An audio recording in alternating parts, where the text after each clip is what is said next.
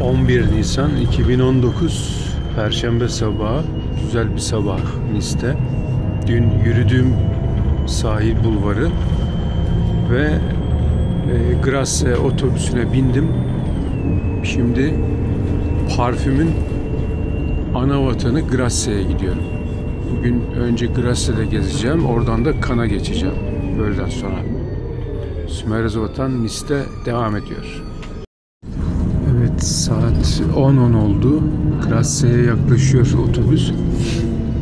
Çok keyifli bir yolculuk oluyor. Ara ara da uyukladım. Böyle küçük küçük köylerden geçiyor otobüs.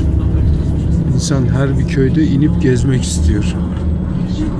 Çok hoş. Yerleşim yerleri.